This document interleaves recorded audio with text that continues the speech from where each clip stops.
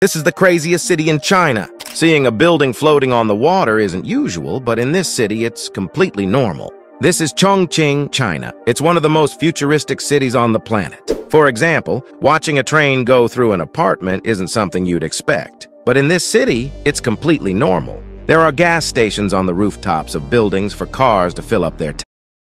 That's not surprising enough.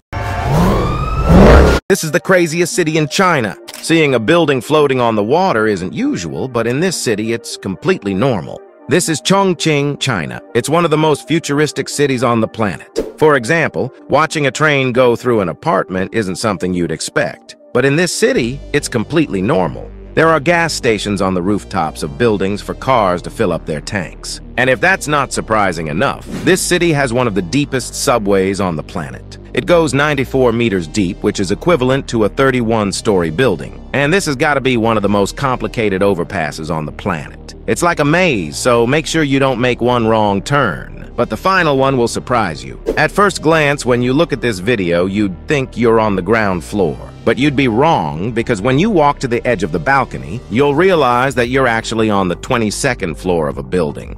This is the craziest city in China.